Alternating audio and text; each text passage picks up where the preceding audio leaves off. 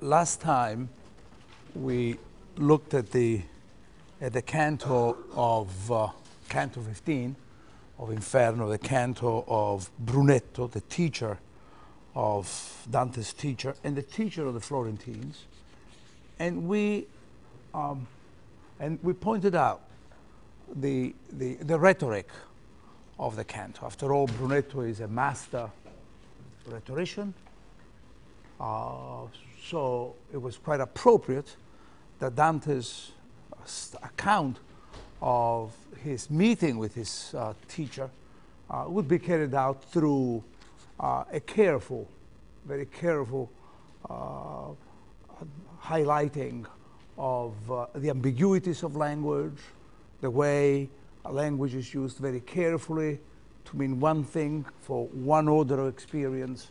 Brunetto's, for instance, uh, anthropocentric, political understanding of the world, and then uh, Dante's own understanding of the world, which we could call theological, but it really means uh, the point of view of someone who is questing, who is moving, and who will move beyond uh, Brunetto, and how language oscillates. The same words seem to acquire different meanings in uh, those different contexts. And in many ways, that language would become uh, the language, the rhetoric, which should be the instrument of persuasion and agreement, becomes in and of itself the cause of two of misunderstandings uh, between them, between master and, uh, and disciple.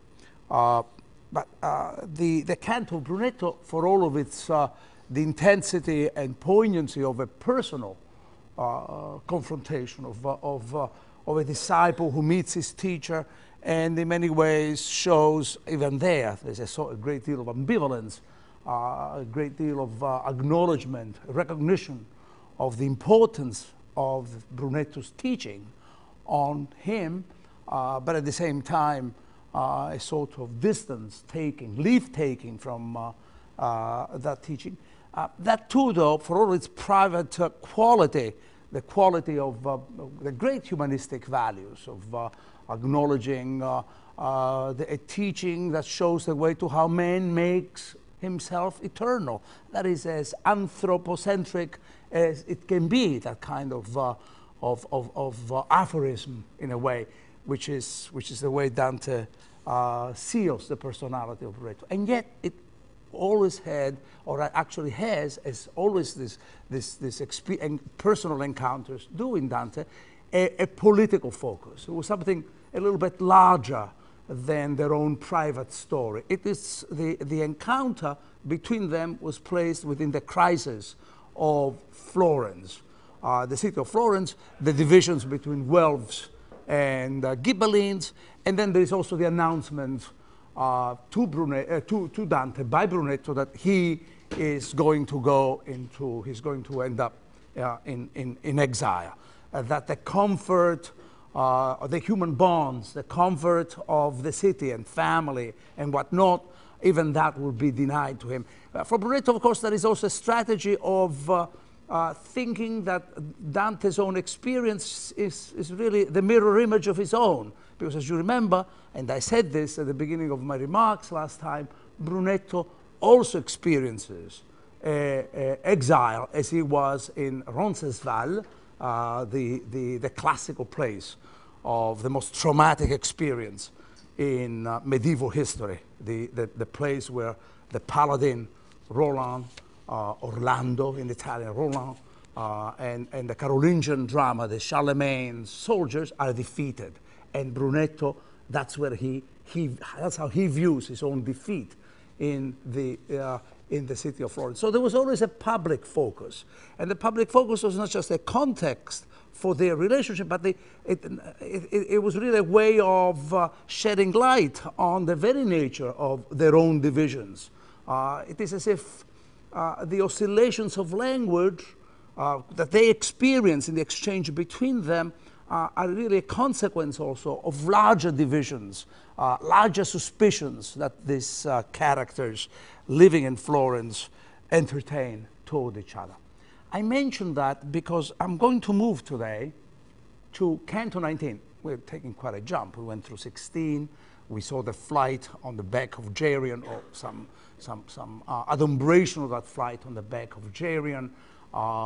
Uh, canto 17, uh, if you were to read it on your own, it's an extraordinary canto. It's the only time that Virgil leaves Dante alone. And Dante has to uh, uh, meet the, the, the, the, usurers. And, he had, and it is as if uh, he had to be left without any guidance.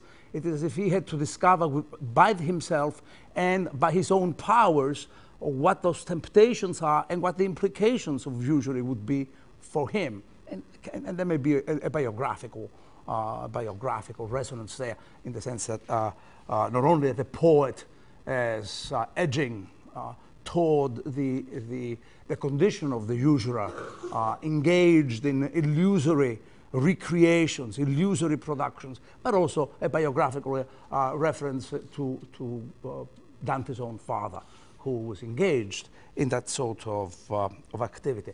And then we go through uh, Canto 19, which is really the canto that I want to talk about. Now, and that's the point of my remarks about uh, my, my, recapitulations of uh, what I said about, about Brunetto. Dante now takes a public voice not only he takes a, so you have a, a, uh, an experience of the shifts in his own voice. You, you do know the kind of romance atmosphere and the encounter with, uh, uh, with, with Francesca. Uh, you do have the kind of uh, the seminar-like uh, tones that he uses in the encounter in Limbo with the poets of antiquity, where he, they go on talking about, about art and the secrets of the craft, etc. Now Dante takes what I, I, hesitate, I do not hesitate to call a prophetic voice.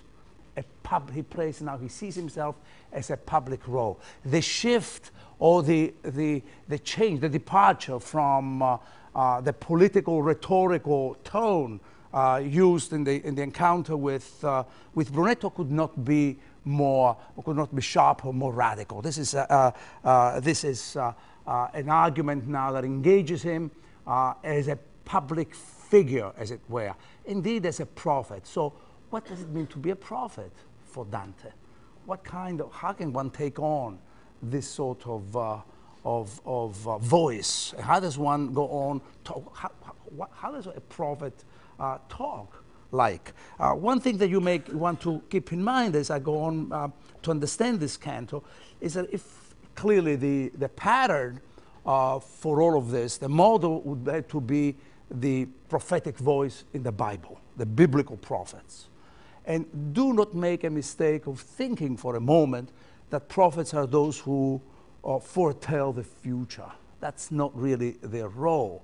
In fact, Dante goes out of the way, and I'm not going to talk about that, we really haven't got time, in Canto 20, uh, highlighting the differences, as it were, between prophets and diviners. The diviners are those who foretell, predict, the future. So if the prophets do not foretell the future, what do they do? They are literally readers of the present. This is the, the point. For Dante, the biblical prophets are those who read the present history in its unfolding from the perspective of what they perceive to have been God's promise to Israel and to them. So the prophets are in a way, and I, do not, I don't say this in any way to, to uh, to degrade them, but uh, on, the, on the contrary, to highlight the importance of their intervention into the present, that you could call them as commentators, those who are in, the true sense of the word, those who remember. That's what a commentator is. A commentator is, is an exercise of memory, a way of bringing ancient memories to bear on the present. That's the way Dante understands the prophetic, uh, prophetic voice.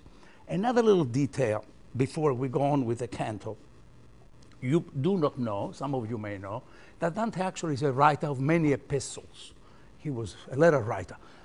We do not know the letters he wrote on behalf of his patrons, but we do know the letters that he wrote in his own name. And he would be uh, writing letters that the, the array of which is, uh, can be sometimes moving. Uh, for instance, when he writes to a friend, uh, he would like to attend the funeral of his friend's wife and cannot. He's a practically begging because he doesn't have the adequate clothes to go to the funeral, introduce himself. He's clearly begging for some kind of uh, assistance. But he writes also letters that probably never reached the destination. He wrote letters, for instance, to the Italian cardinals who were uh, in conclave. You, you understand what, what, i mean when I say conclave. The conclave means that they are shut under key and kept in some place where they can make decisions about electing from within themselves or from the outside a pope. And they could not agree about whom to choose. So he writes a letter a letter to the Italian cardinals. And he begins the letter uh, addressing them and saying, Perhaps all of you will wonder who is this man? Who gives him the authority to say, to speak to us and address us and spur us on to action? Doesn't he remember? This is Dante speaking and attributing these thoughts to the cardinals, the, the possible objection to the intervention of a layman's voice within sacred things. Doesn't he remember the lesson of the biblical prophet, which he doesn't mention, uh, the name that's mentioned, who, on seeing the ark of the, of the alliance being carried into, into the city of Jerusalem, and seeing the ark tottering, he stretches his hand, trying to protect it, to, to, to make sure that it won't co collapse and, and, and break into pieces. And God intervenes and, and through lightning and fulminates him and kills him. So Dante is aware of the danger of taking on. That's the point. He goes on saying, spurring them, saying, I'm not really touching the ark, I'm really spurring the oxen who are not going anywhere. That's the, the substance of the letter, but this does not concern us here. But the point that concerns us here is that in the background to this canto where he takes on the prophetic voice, he's aware of the possible profanation that he is engaged in, in addressing, as he does, the so called Simonists. It's time to get into the canto of the so called Simonists. Who are the Simonists? Um, in fact, let me just, uh, I was just reading this little story. The sisters of, of Joyce, I, I, have been reading that before, but I know that that is really a story of, I don't know how many of you are English uh, uh, students, students of English literature, but he writes this story, this is which is really about a sort of 20, early 20th century version of, uh, of simony. And if some one of you might want to write a paper uh, connecting uh, the sisters, this beautiful gem of a story by Joyce, and Canto 19, you can. And you see the differences that, there are, that between the two of them. The Simonists are the followers, it's, it's, uh, it's a word, uh, like we say, the Machiavellians, for instance, are followers of Machiavelli, those who think like Machiavelli. The Simonists are the followers of Simon, who was called a magus, or a sorcerer, or a magician. Simon, uh, Simon.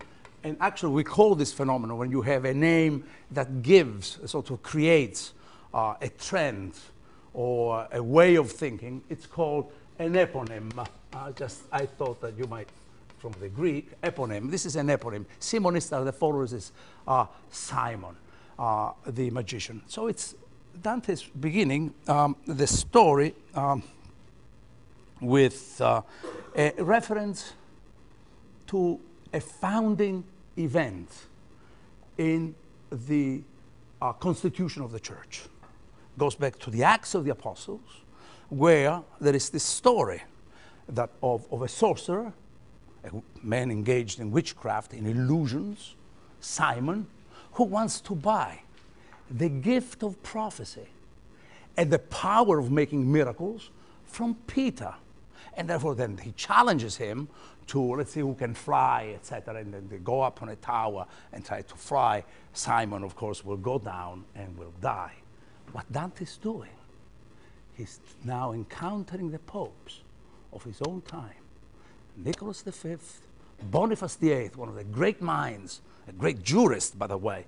Uh, in fact, there are those historians who really think that Dante is, is uh, bad mouthing him, that you know, there's some, something personal that we, we can't quite see. Boniface VIII and Clement the sixth, the fifth, I'm sorry, the three popes uh, under whom Dante lived, who are engaged in simony. What is simony? It's a sacrilege Simony is the act, exactly like Simon in the Acts of the Apostles, who wanted to buy the gift of prophecy. It is a sin whereby one can go on in making commerce of sacred things and thereby engaging in blasphemy. The question then is what does Dante think the sacred is? It's a constant theme in his, uh, in his reflections, it's a constant theme of his thoughts. Uh, what is the sacred? How do we determine it? How, what does it mean to violate the sacred? Simon violates the sacred. The popes now, who are uh, of his own generation, are engaged in the same kind of blasphemy, in the same kind of profanation. And in effect, let me just give you a little detail that you might appreciate this ambiguity. The other name of Peter, you know, St. Peter, the guy with the two keys, we saw an allusion to him with Canto 13 the other name of Peter is Simon. So, in fact, he's known as Simon Peter. It is as if by having these two, the, the, the, the, sorcerer, the magician called Simon, and the Pope called Simon Peter, and there should be uh, whose successors the popes should be, the first pope and the other. He's, Dante is actually uh, uh, giving us a sense of what we call, forgive them the, the rhetorical term, a metonymic uh, proximity, a contiguity, a nearness between them, the nearness between the prophetic mode and uh, the profanation of the prophetic mode. How, how precarious is the boundary line that divides the two? How precarious is the divide line that, that separates the, the, the sacred from the profanation of the sacred? So this is really what Dante is doing. Let's see how he dramatizes all of this. First of all, then the question that I raised with you is, how do prophets talk? And one thing that you will see here is the apostrophe. This is a canto written in terms of apostrophes. Look at this. Um, and we read the canto. So I'm reading the canto. This is for the transcriber. Uh, um, canto 19. Ah, Simon Magus. You see, there is the apostrophe. Think about why the apostrophe? What is an apostrophe? Hmm. And you, his wretched followers, who rapacious, prostitute for gold and silver the things of God which should be brides of righteousness. Yeah, that's the definition of simony. Uh, viewed as an adultery, a corruption, therefore, of the chastity of, of uh, of the marriage uh, between God and the soul, now must the trumpet sound for you, for your place in, is in the third pouch. We were now at the next tomb and had climbed to that part of the ridge which hangs right over the middle of the ditch. Oh, another apostrophe, another invocation, I would call it, but it's, it's, I'm, I'm not so sure that we can quite, that I can quite uh, decide the difference between an invocation, which is obviously a prayerful, and an apostrophe, a calling on, an address. Uh, that's what the apostrophe is. How great is the art that shows in heaven, on earth, and in the evil world, and how justly does that power dispense. I saw along the sides and on the bottom the living stone full of holes, all of one size, and each was round. They seemed to me of a width no more or less than those that were made in my beautiful St. John, the baptistry of St. John in Florence. And these are this, uh, the, the, the wells where baptisms take place. They're usually octagonal in shape. It's the eighth day, you know, the, the, the the idea that the resurrection is on the eighth day. Uh, it's it's, uh, uh, it's, it's the, the idea of history based on the seven days of creation, uh, the eighth day of the resurrection. They were made in my beautiful St. John as fonts for baptism, one of which, not many years ago, I broke for one that was drowning in it. And to this I set my seal to clear the mind of everyone. What Dante is doing is acknowledging what could, what could have been seen as an act of profanation. He broke one, which is really is a figurative because they're huge, and I can't believe that he could have the uh, you know, 10 people to, to break these things apart. Uh, so it's a figurative idea that he stretched his hand into holy things and violated the holy things. But he did it, and that's the excuse he's giving. Uh, he did it in order to save someone's life. So there is nothing gratuitous, that's the point, in his own intervention, as it is called. It's called an interventio in sacris, stretching the profane hands into holy things, into sacred things. He, what, what, he's, what he's really uh, removing himself uh, from is the charge that his act may appear purely gratuit, uh, gratuitous. And if it's not gratuitous, what is it uh, driven by? Where does it come from? If it's not, one can say, well, it's a gratuitous act, which means you can dismiss it, but this is not gratuitous, so what is the reason behind it? And he, he if, if he's serious enough, he should provide us this reason. From the mouth of each projected, of each projected the feet of a sinner, and the legs as far as the calf, and the rest was inside. He's representing the popes who are here, upside down.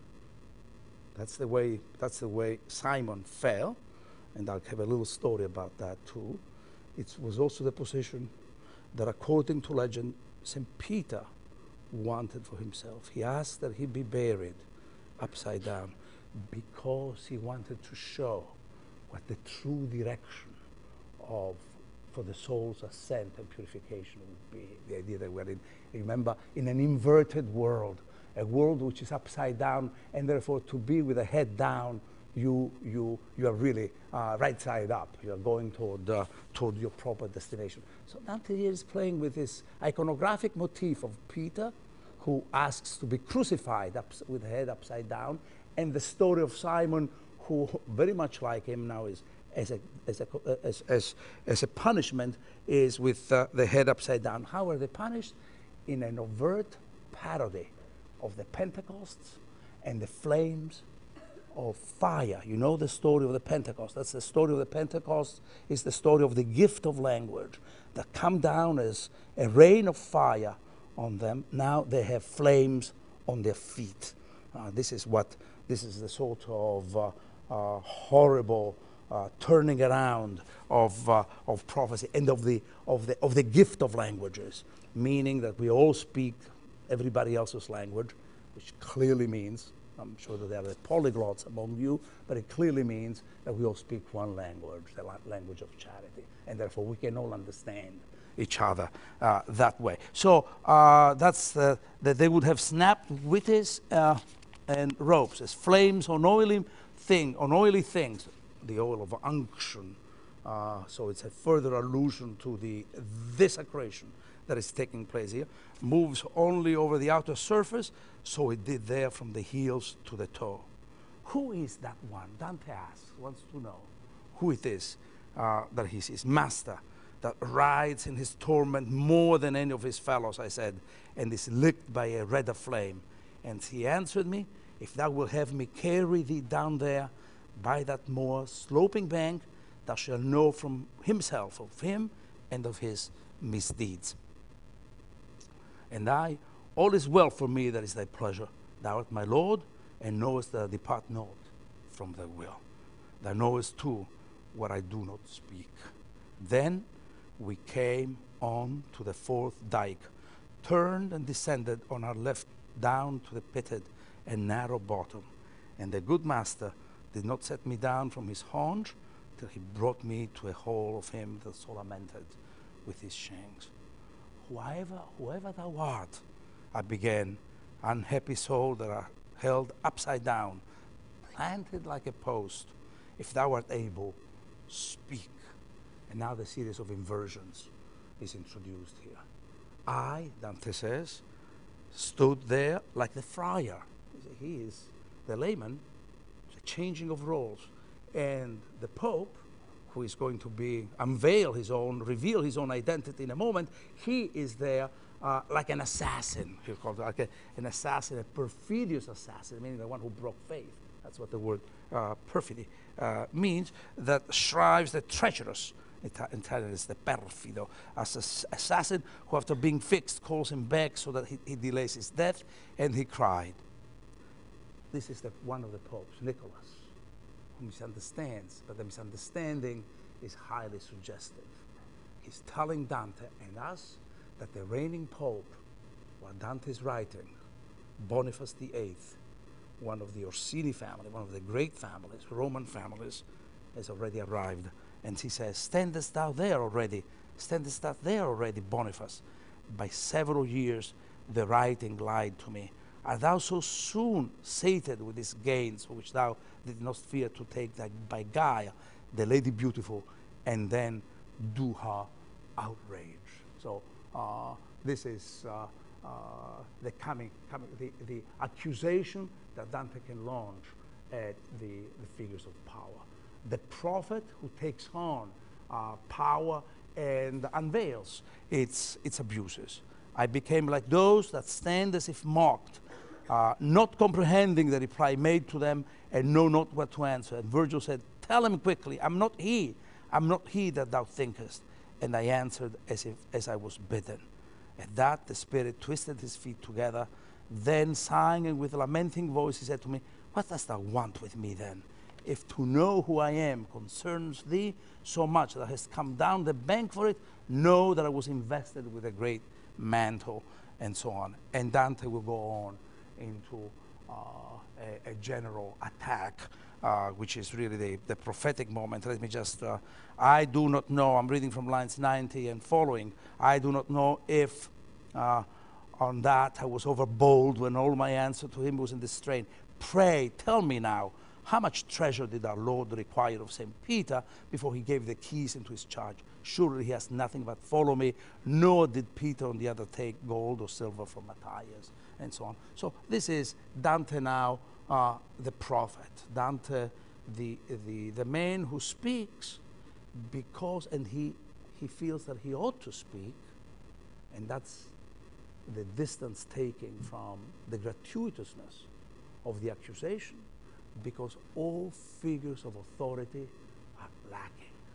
In the presence of this eclipse of authority, he thinks that it is incumbent upon him to go on taking that authority. It's a usurpation of, of a voice, a usurpation of authority in order to make up for what he thinks is missing. And the problem, uh, this whole question about the, the, the confusion of orders the confusion between the uh, secular and the sacred, the profane and the sacred, is brought back to one great event, which was known in the Middle Ages as the second sin of Adam.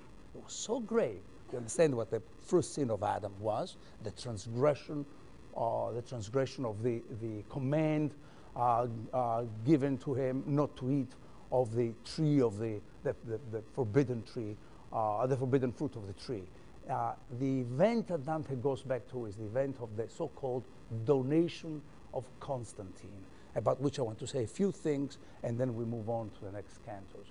And so the, it's the donation of Constantine. It, is, it refers to the fourth century when the emperor Constantine, whose name I think I have mentioned, uh, uh, gave, extended, gave the land to the Pope. Ex in other words, made the Pope the ruler of a secular um, domain.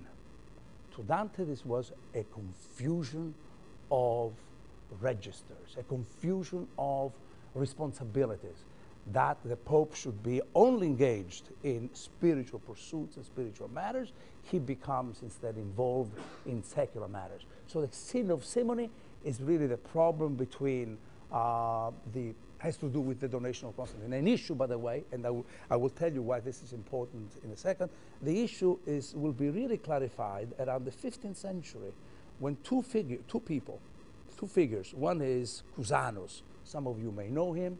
Uh, Nicholas of Cusa went on repeating the moral arguments against the donation of Constantine as much as Dante does here. But the one who really proved the falseness of the documents with which uh, uh, uh, Constantine supposedly made the donation to, to the, the Pope was Lorenzo Valla, with a philologist who went on examining the language of that text, and by examining that language, found out that, this, that, that, that the, the, donation was not written, the document had not possibly been written in the fourth century because it, it bore the traces of 11th century uh, Latin. And so he went on specifying that that donation had been a forgery and the forgery had been committed in, in, a, in, a, in a convent in the south of France with extraordinary linguistic precision. What is the, why is this important to Dante? Dante makes this issue of the donation of Constantine, the confusion of orders, the spiritual and the secular, which simony embodies, which simony uh, crystallizes the real problem of the, the crisis of his own time. So, so huge, I repeat that it's called as the second sin of Adam. Dante wrote a political text called Monarchia, which is really an argument in favor of the, uh, the separation between these two orders, the church and the state.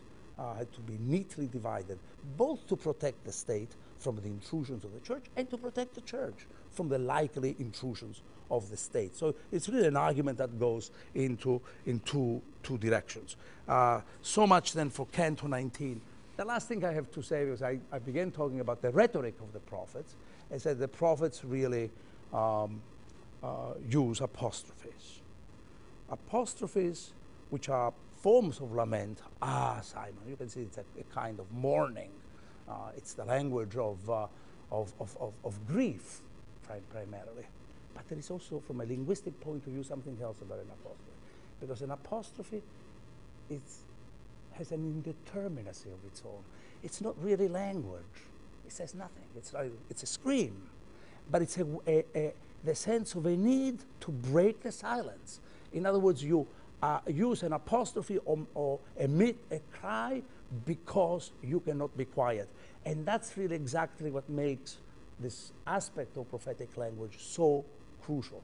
It's between silence, one is overcome by what one, the, the enormity of what one sees, and the refusal to acquiesce. So, uh, and, and, and I could give you, ah, Constantine, that's another apostrophe that we saw. So the whole canto is punctuated by this rhetorical form that wants to break the silence and, and, and cannot quite find the words. That's what I call the indeterminacy of uh, the rhetorical artifice. Um, let me just go. Uh, I know that I said I would read 21. Maybe I can talk about it. I, I, have to say very little about comedy. Dante uses the language of comedy. And what I had, I uh, had with time, I would talk about how Dante goes out of the way. 21 says, Here now I make comedy, the language, the humble style. Uh, it is as if he wants to free himself from the shackle, the complications of using a lofty language or taking on this extraordinary position of being, being the prophet of his own times. So he goes on to say, my comedy. But this comedy is also linked to a peculiar experience in, that he tells in Canto 21 the fear of falling. The devils are after him, and the, the devils, uh, the, the, the, of course, he calls them uh, Guelfs and Ghibellines. Another way of thinking about them was the war between, he says, whites and blacks bianchi and neri. That's, that's the way they would distinguish themselves. So these demons are his enemies, are the blacks, the, the, the, uh, the Ghibellines, who are trying to throw him down. And the point is that comedy is always attached to, always flanked with the idea of the fall.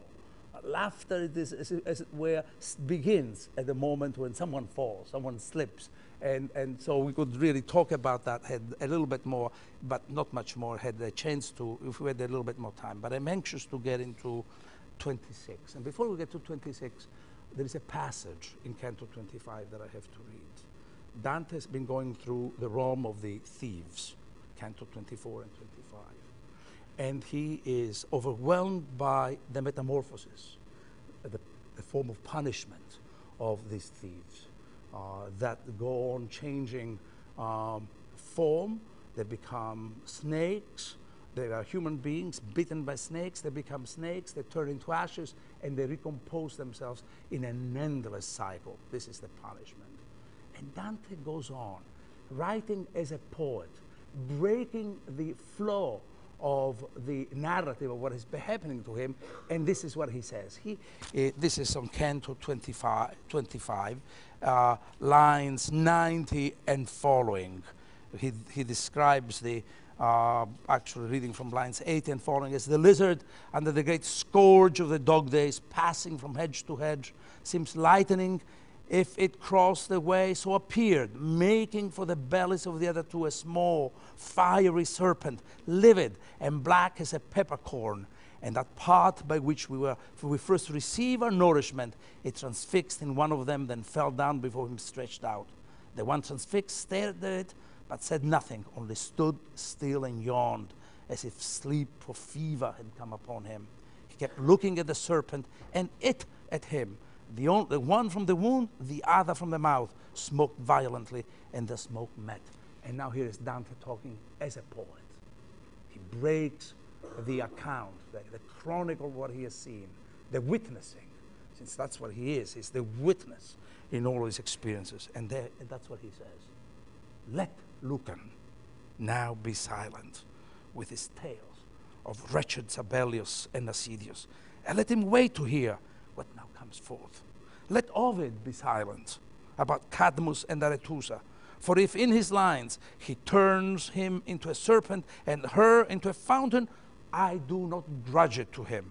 For two natures, face to face, he never so transmuted that both kinds were ready to exchange their substance. All right. On the face of it, Dante is saying that the kind of metamorphosis he's describing really is um, more horrifying than anything that Ovid, the author of the Metamorphoses, uh, who is always guided in his metamorphosis by a belief in the, in the bondage, in the bond of, uh, of, in the solidarity between humans, human beings and the natural world. We can go on shifting forms, and there is a kind of serene uh, transformation happening in, in, uh, in, in, in, uh, in Ovid. And he also, he also says that he's different from Lucan, another author of, uh, in, in, of, meta, of uh, scenes of metamorphosis in his story about the Civil War. But the point that I, that I think is really crucial here is a, is a different one. Dante is repeating, reenacting exactly the kind of aesthetic temptation that we already witnessed in Canto 4 of Inferno, in Limbo, where Dante meets the poets and he's so taken, so complacent about undoubtedly the great temptation of being sitting, sitting with, uh, can you imagine, Homer, Virgil, Horace, Lucan, Ovid, exactly the people that he mentions. Them. Retrospectively, that scene of harmony that Canto 4 seemed to dramatize now completely, completely vanquished. No, here he is, he's really saying, I am their rival. I am even better. I'm seeing things that they didn't even imagine. So if you had the illusion of an idyllic relationship among poets, uh, you are disabused at this point. But it is a temptation nonetheless, because once again, Dante is going down for in, in, in, in, in a descent, which is a descent of spiritual humility, and yet his voice seems to be going up in an opposite direction, one of hubris the same kind of temptation that he had in Canto 4. And this is what happens. Again, the structure repeats itself. In Canto 4, Dante claims that he uh, fellowship with the great poets. He comes into Canto 5 and he has to confront the responsibilities of writing, the responsibilities of being a writer. Uh, and he encounters his own, a reader of his own. Dante merges into Canto 26 and meets none other than Ulysses, a master rhetorician, whose experience and whose journey will lead himself and his uh, companions to a tragic end. For Dante, this is a, an extraordinary moment for a number of reasons. Ulysses is a steady point of reference for his own adventure. Uh, he will keep thinking of him in Canto 19 of Purgatorio and in Canto 28 of Paradise. When Dante is about to live beyond the whole the, the physical universe, he looks back to see the distance he has traveled, and the only thing that he sees is really that passageway where Ulysses violated all boundaries. Clearly, what kind of boundaries am I violating? Ulysses is a mode of being, a possibility of being for Dante himself.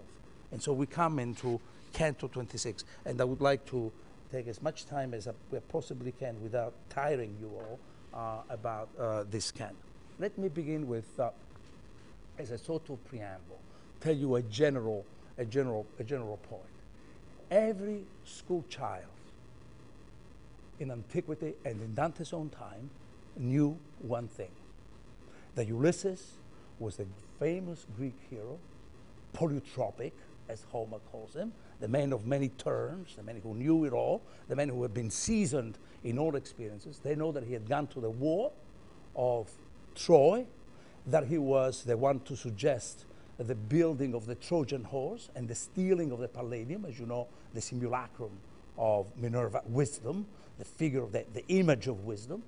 And then it took him that he was involved in uh, the battle about inheriting Achilles' arms with Ajax.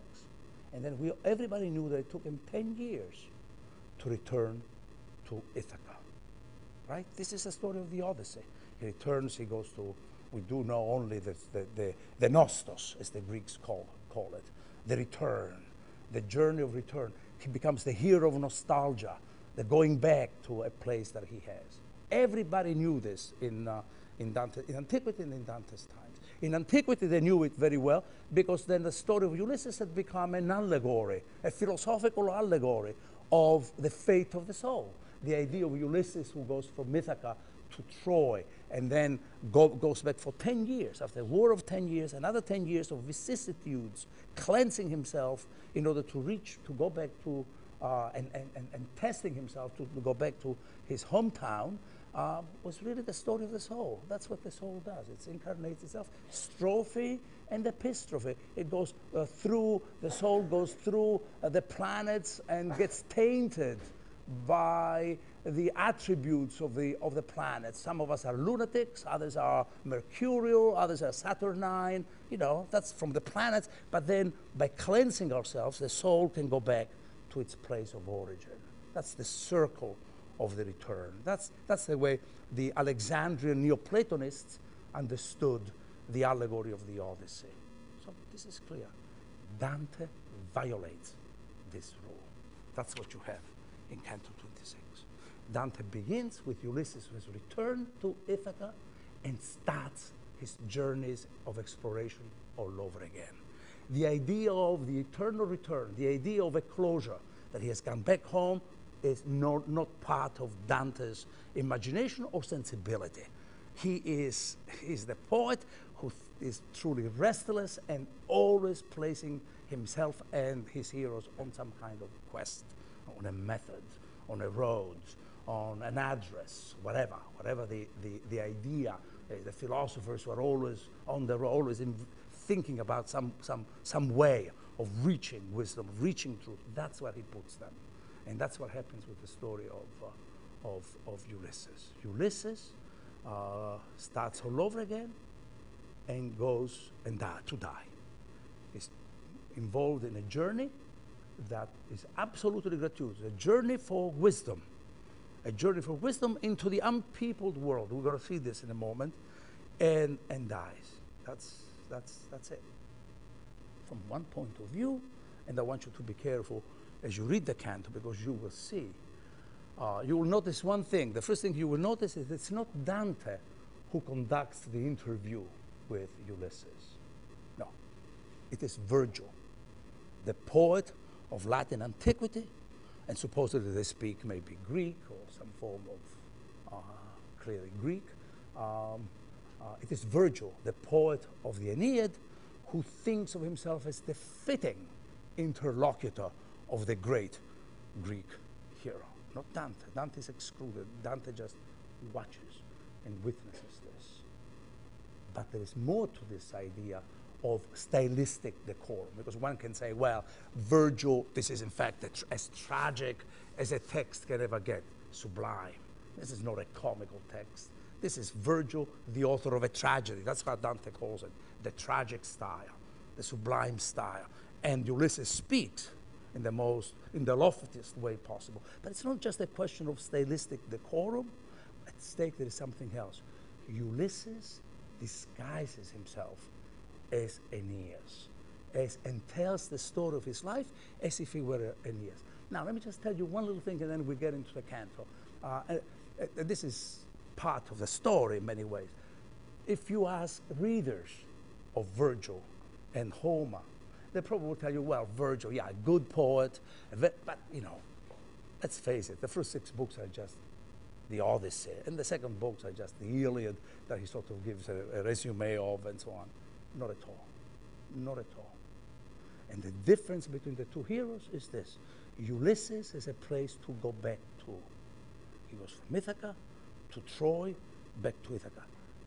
Aeneas has no place to go to. His is the open quest, the open, the, the road on open-ended road and open-ended journey. And this is the way Ulysses will think of himself. The the last thing, and then uh, really we'll uh, get into the canto. The last thing I'll say is that the extraordinary ambiguity, I want to point out, the extraordinary ambi ambiguity with which Dante represents Ulysses. But the ambiguity of Ulysses is part of the story of Ulysses from the start. The very, from the very beginning, Ulysses is a philosopher and he's a rhetorician. He's someone who can manipulate all knowledge for his own ends. And this is this ambiguity that in many ways Dante is, uh, finds very alluring. Okay, let's, let me start with the canto. Uh, the canto start, starts with uh, uh another uh, very topical relation, uh, very topical allusion. Dante is drawing our attention to a specific place, to the city of Florence. It is as if he wants to uh, moor himself, anchor himself to something as concrete as his immediate, with, uh, immediate place, uh, his own native place. And, and, and, and it's an apostrophe to Florence. Rejoice, Florence, since thou art so great. Let me just stop here a moment. Pay attention as you read the canto. Pay attention to one uh, stylistic element, the antithetical, the antithetical uh, use of great or uh, tall and small at the same time. Uh, rhetorically sometimes, uh, or even with the idea that uh, uh, of, of, making us ask and wonder what is the relationship between, between that which claims to be so large and so big and that which claims to be so small. Ulysses obviously thinks of himself in terms of loftiness. And Dante now rhetorically starts with Florence, since thou so great, the satire is obvious, that over land and sea thou beatest thy wings, and through hell thy name is spread abroad. The whole point is that he has seen some Florentine thieves, unnamed even. Among the thieves I found five such citizens of thine that shame for them comes.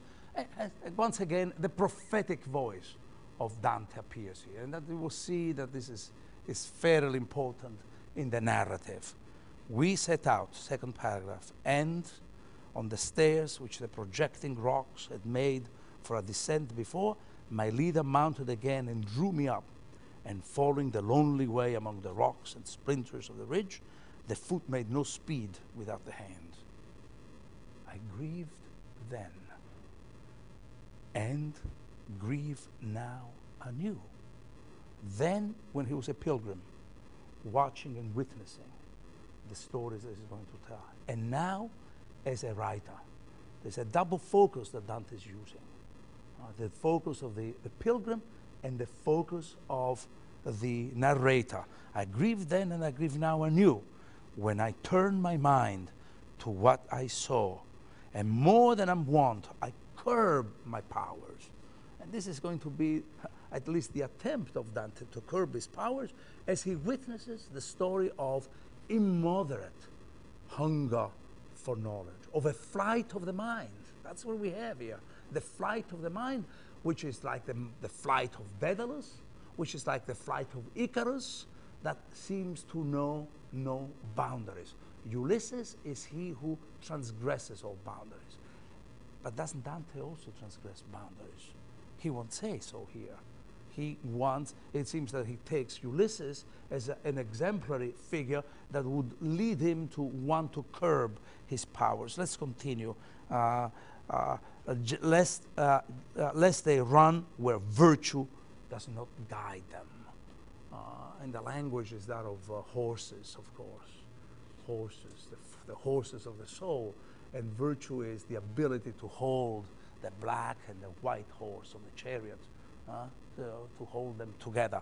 And so that's the allusion with, with the, the, that Dante is using a Neoplatonic language. So that if favoring star or something better have granted me such a boon, I may not grudge it to, to myself.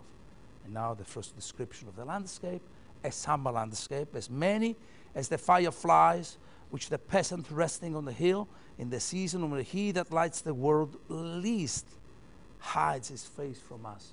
What an extraordinary image. A periphrasis to talk about the sun. Describe the night when the sun is hiding. And you'll see the implications of this metaphor, I hope, in a moment. Sees along the valley below, in the fields perhaps where he gathers the grapes and tills, with so many flames, the eighth ditch was all gleaming, as I perceived as soon as I came where the bottom was in sight.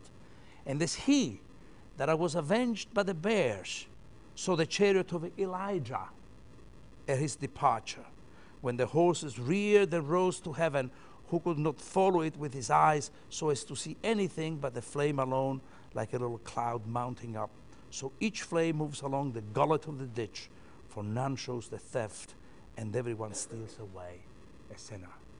Uh, Dante is not comparing himself to Elijah, he's comparing to someone who watches Elijah. Elijah who is also engaged in a flight to a flight of the soul, right? Exactly like Ulysses, who is going to be represented as is the antithesis to Ulysses.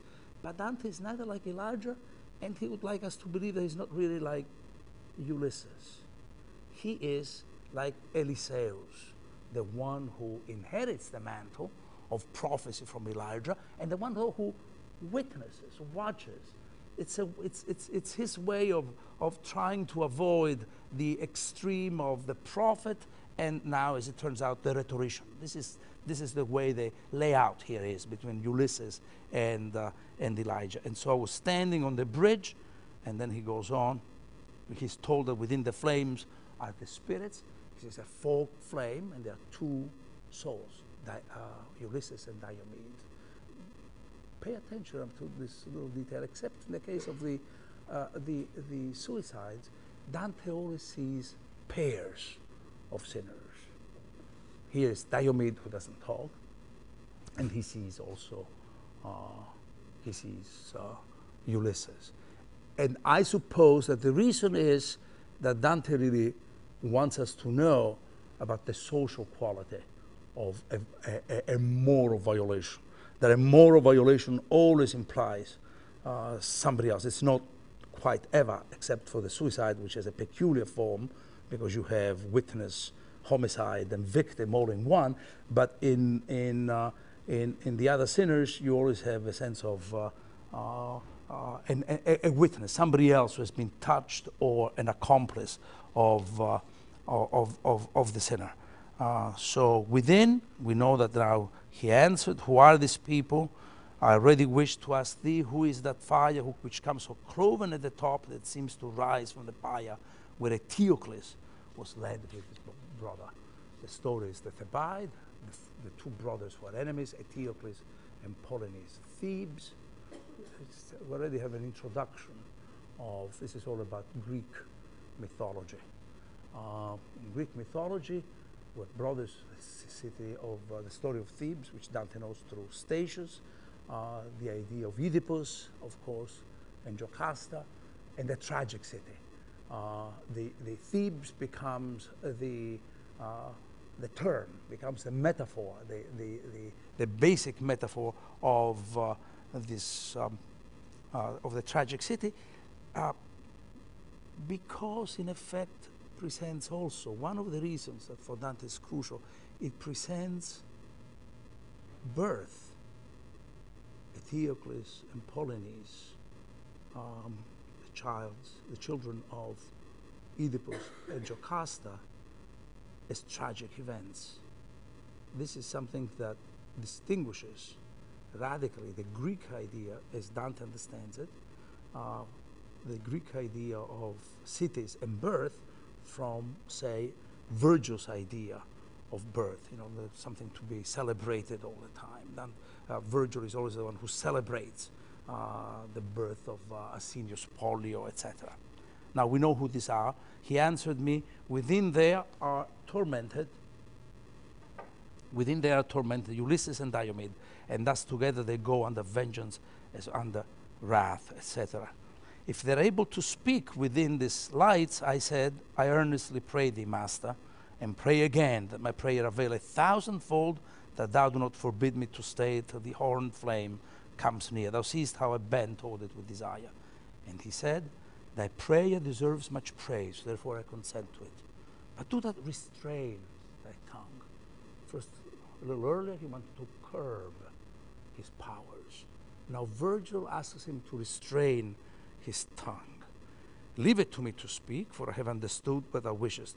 For perhaps, since they were Greeks, they would disdain thy speech. So we have really uh, a sense of a hierarchy of styles.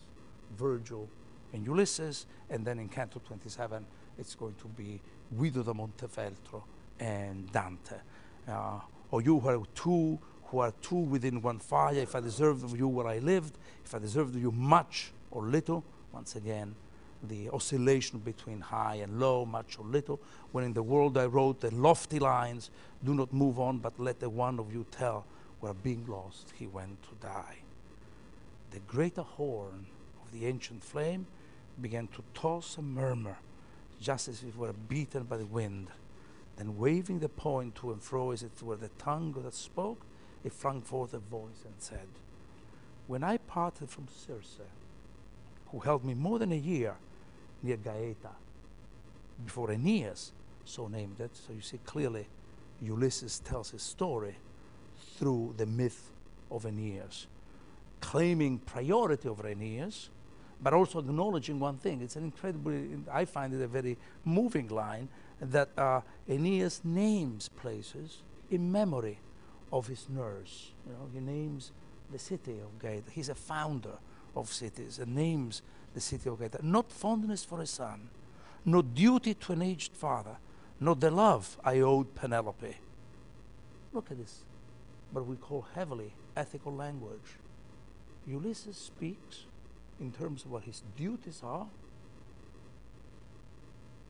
fondness for a son, the duty to an aged father, Laertes, the love I owed Penelope, which should have gladdened her, could conquer within me the passion I had to gain experience of the world and the vices and worth of men. This is, seems to be an ethical quest, and nothing can stand in the way of this virtuous action. Ulysses thinks of himself as a virtuous quester after vices, understanding, and gaining experience of, uh, of vices and, uh, and, and, and virtues and the worth of men. And I put forth on the open deep with but one ship, uh, the one shore and the other I saw as far as Spain, Morocco, Sardinia. Uh, and he's a man of who mentions places all the time, this narrative.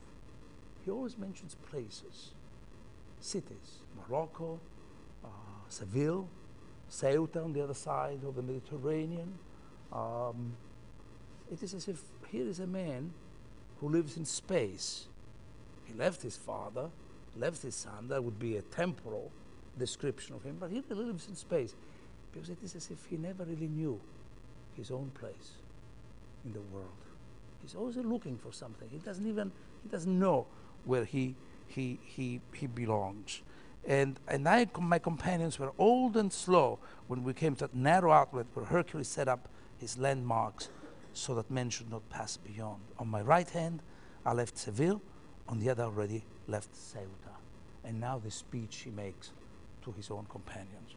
And look at the rhetorical, the rhetorical wisdom with which he moves. He addresses them as brothers, which is the biggest captatio benevolentiae. We are all together. There is no hierarchy here. I'm not your leader. I'm not your king. Or brothers, I said, who through a hundred thousand perils. Look at the hyperboles. If you want to seduce uh, people to come, companions to come with you.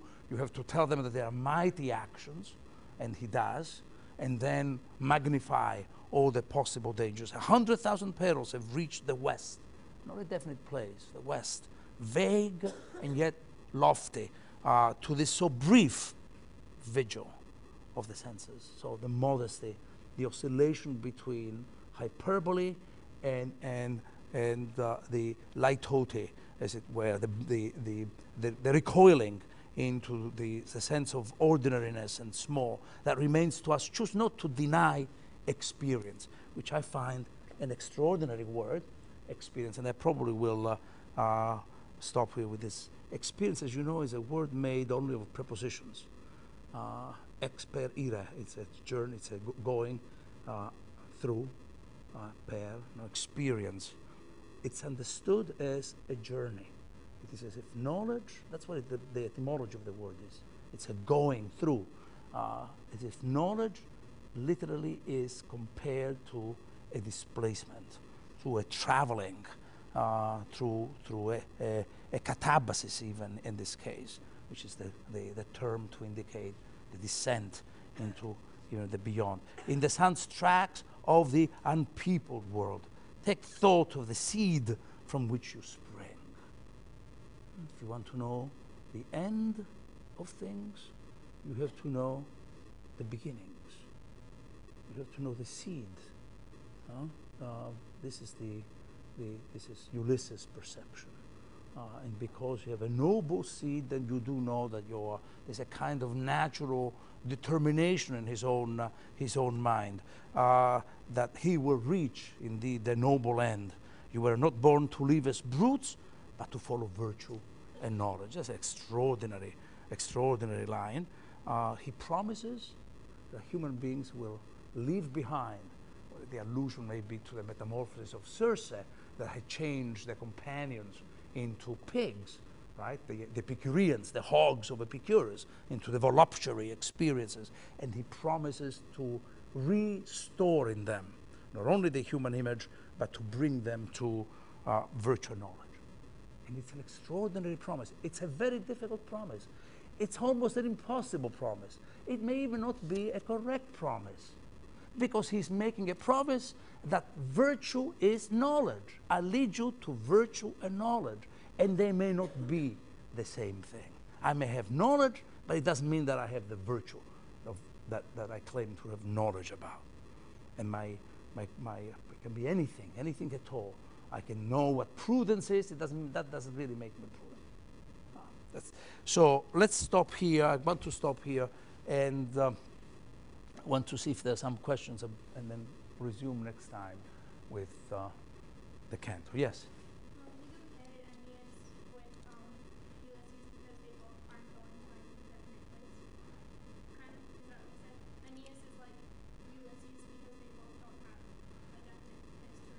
The question is, uh, I, I, mentioned, uh, actually Ulysses mentions, knowing that he speaks to Virgil, mentions Aeneas.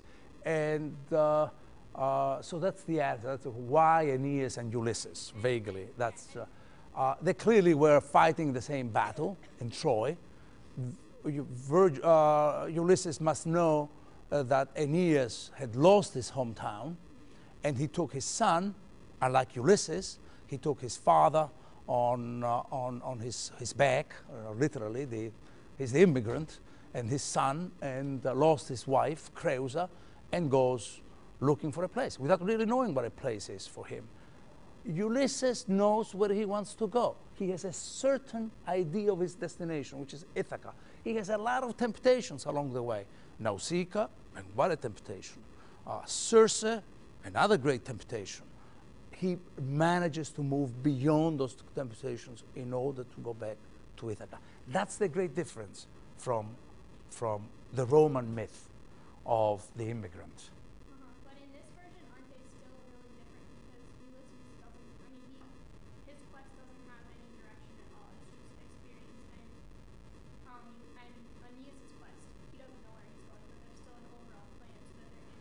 Exactly. Absolutely. So there is a the, the difference between them uh, becomes that you, that Aeneas will stop at one point. Uh, he has temptations to stop in Sicily. Uh, you remember the, the, the, famous games, uh, the games, ritual games, in memory of his father who had died, the death that hallows that ground, you know, the death of, of, of, of, of, of, of Anchises. The women burn the ships. This is, this is too, too, this is utopia. I don't, we don't want to go around into this epic adventure. Let's stop here. He won't. He's always misunderstanding oracles. He doesn't know where to go. He's always looking backwards, but looking forward at the same time. But at one point, he stops. He and, and that's part of, if you wish, the, the realism of, of Aeneas. He stops at one point. He, cannot, he will not go any, any further. Ulysses goes back home, and then he starts all over again. But that's Dante's reading of Ulysses. Okay? So he's really reading him as very much like uh, as if he were a, a variant of, uh, of Dante, by the way. Uh, yes?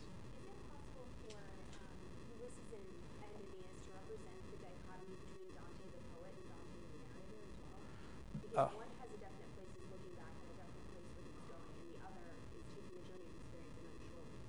uh, the question is very interesting, and it's is it possible to think of uh, Aeneas and Ulysses as the two functions, as it were, of Dante, the pilgrim and the poet? Uh, yes and no. Um, it's a very interesting question. Um, but I, I, would not, um, I, I, really hesitate to agree with you for one reason. Uh, because writing for Dante is a prolongation of, of the search. Dante literally cannot stop. It's not that, you know, he, on, the face of it, he has seen the beatific vision, right? That's really the story. The story of a man who goes from the wilderness, goes through hell, purgatory, paradise, and has a beatific vision, and now he starts telling us about it uh, fighting against forgetfulness. The, you know, he has a lot of, as a writer, he has a lot of temptations. And yet, the writing itself is fraught with, with uh, dangers, temptations. It's a different sort of journey, but it's the journey of writing. And therefore, there's no clear cut distinction between the two. In fact, I just gave, read in Canto 25 uh, the little scene when he challenges Lucan and Ovid, which really is uh, let the past yield to the present. You know, that, that, that's really the kind of claim that they can make. Uh, let them be quiet because I know what is happening. And, and the story is that as a writer, he is uh, lapsing, he's falling into a number of temptations as if he were a pilgrim. You can expect that from a pilgrim to being, fa being fascinated by, uh, by Francesca. Um, having all these uh, inner divisions. Dante is a, a, deeply divided man. He has to condemn and at the same time has to sympathize as, as uh, even as a pilgrim. So that's really the, that's, that's the only little detail where I would, uh, uh I would not agree with you, but maybe you're right. I don't know. yes.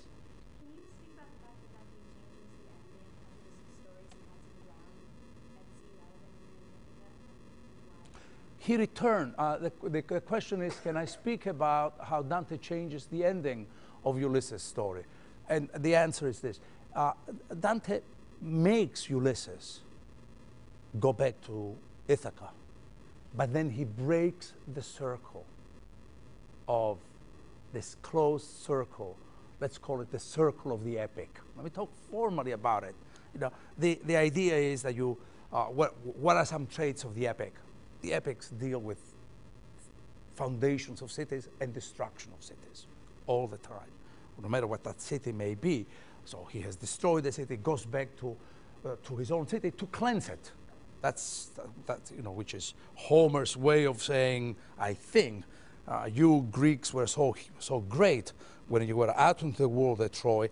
Let us see how that heroic ethos is going to help you that you are back home whether probably you are going to need more courage and more determination, as much courage at least, as, as much determination as you did have uh, in, in that great celebration of the newly found Greek unity uh, in, in Asia Minor, in, in, Troy.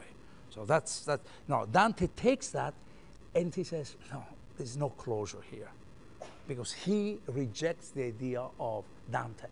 To the epic, he replaces the epic with a novel.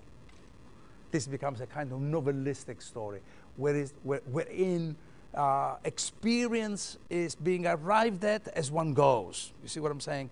In the epic, you have a kind of, uh, indeed, things return to the point of, uh, of departure. Uh, that's, so that's the difference. It's a difference between two radically different ways of understanding experience and the self. Dante will put himself on the open road, but Ulysses will remain the constant reminder. He is the phantasm he can never quite exorcise. It will return to him, as I said. When the siren appears and tempts the pilgrim and says, Look, I made, I gave happiness to Ulysses. Why don't you stay with me? And the implication is, first of all, she's lying uh, because this is, uh, you know, the story of uh, Ulysses putting the, the wax in his ears is uh, nicely omitted, but it's a way, a temptation to Dante to feel that he too is an epic hero, like Ulysses. Okay. Did I answer? Other questions? We'll come back to this canto, which is uh, truly um, uh, plays a, a, a, crucial role in Dante's imagination and in the, in the Divine Comedy, the unfolding of the Divine Comedy. So Uh, read carefully, and then we'll go on to the other cantos. Thank you.